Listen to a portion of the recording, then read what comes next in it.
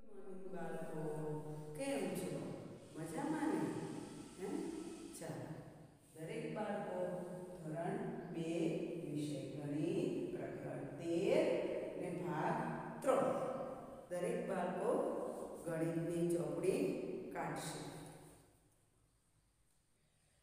દરેક બાળકોએ ચોપડી કાઢી હશે. ચોપડી કાઢજો હો. હવે આપણે જોઈએ પાના નંબર એકસો ને આઠ કાઢો દરેક બાળકો. હવે એમાં આપણને આપ્યું છે જો બિલાડીનો ખોરાક, ઉંદર કે દૂધ. બિલાડીનો ખોરાક, ઉંદર કે દૂધ. આ બેમાંથી એ શું ખાશે? એ આપણે જોવાનું છે. બરાબર?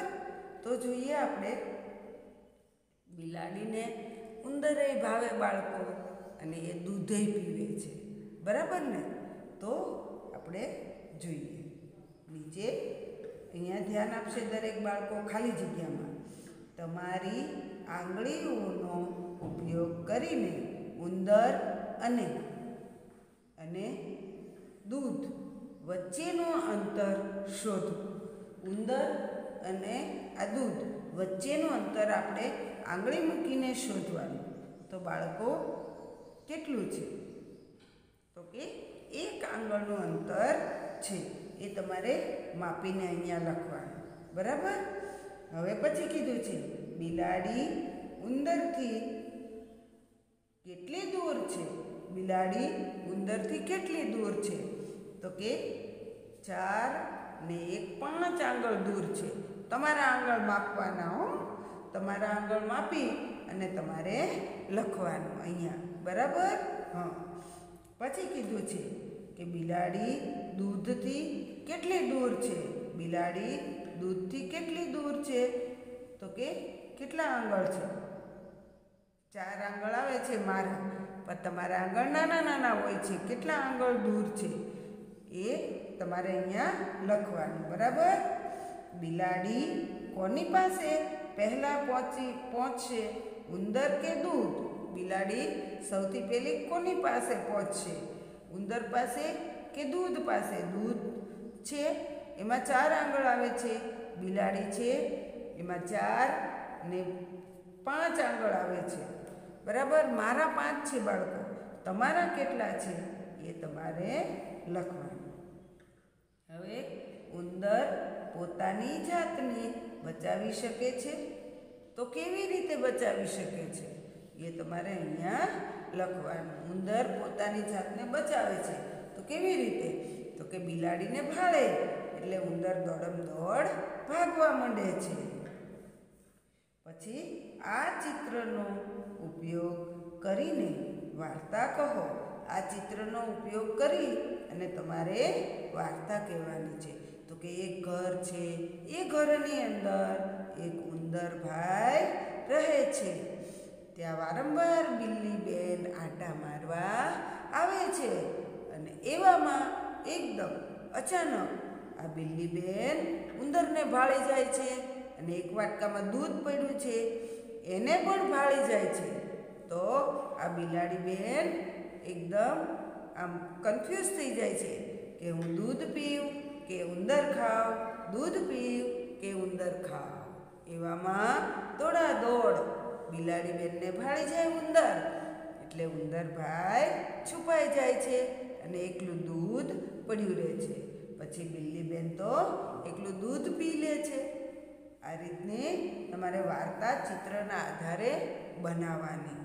ખ્યાલ આવ્યો? હં. હવે કીધું છે કે ઉંદરની પૂંછડી કેટલી લાંબી છે? આંગળાથી માપો. આ ઉંદરની બિલ્લી છે એ કેટલી લાંબી છે? તમારા આંગળથી માપવાની. મારા આંગળ પ્રમાણે તો એક આંગળ આવે છે. તમારા આંગળ નાના હોય છે. હવે કોની મૂછ વધારે લાંબી હોય છે? કોની મૂછ વધારે લાંબી હોય છે? તો કે બિલ્લી બેનની. બરાબર ને? ઉંદરની કે બિલાડી બેનની? તો કે બિલાડી બેનની મૂછ વધારે લાંબી છે. ઉંદર ભાઈ કરતા. તો અહીંયા બિલાડી લખવાનું તમારે. ખ્યાલ આવ્યો? હવે જુઓ બાળકો, પાના નંબર નવ ઉપર, એકસો ને નવ ઉપર જુઓ બાળકો. હવે આપણને આમાં પણ એમ જ કીધું છે, માપો અને દોરો. માપવાનું છે અને દોરવાનું છે. બરાબર? તો આના આધારે આપણે દોરવાનું આવશે. પહેલું છે, પથ્થરની બે આંગળી દૂર, પાંદડું દોરો. હવે આ પથ્થર છે, પથ્થર. એનાથી બે આંગળી દૂર તમારે પાંદડું દોરવાનું છે, તો અહીંયા તમારે પાંદડું દોરવાનું આવશે. બરાબર? પાન દોરવાનું તમારે. પછી વાંદરાની પાંચ દિવાસળી દૂર કેળું દોરો.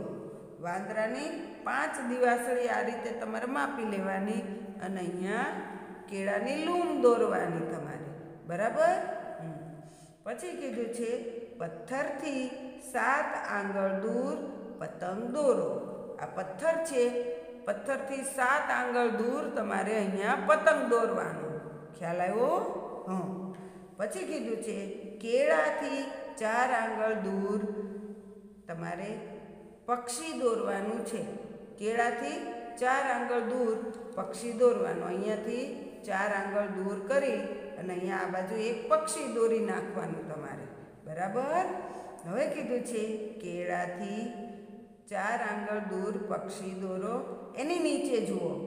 પાના પર ગમે ત્યાં તમારું પોતાનું ચિત્ર દોરો. વાંદરાના નાકથી તે કેટલું દૂર છે તે શોધો.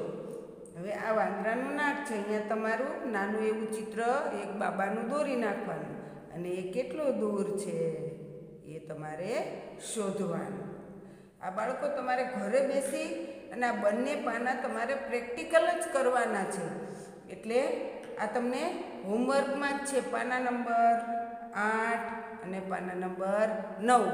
એકસો આઠ અને એકસો નવ. આ બંને પાના તમારે પ્રેક્ટિકલ કરતું જવાનું છે અને દોરતું જવાનું છે. આ ચિત્રની અંદર માપતું જવાનું છે અને લખતું જવાનું છે. બરાબર બાળકો થોડુંક હોમવર્ક છે આના પહેલાંના વિડીયોની અંદર તમને મેં એકથી પાંચ ઘડિયા આપ્યા હતા બરાબર ને હવે આપણે છ થી દસ ઘડિયા લેવાના છે એક વખત લખવાના અને રોજ એક ઘડિયો તમારે પાકો કરવાનો. જેટલા તમે ઘડિયા પાકા કરશો, એટલું જ તમને વધારે ફાયદો થશે. બરાબર? તમને આગળ સરવાળા, બાદબાકી, ગુણાકાર, ભાગાકાર, એમાં તમને આ ઘડિયા ખૂબ જ કામ લાગશે. જેટલું અત્યારે તમારાથી થાય, એટલું તમારે પાકું કરવાનું. કરજો બેટા. આવજો.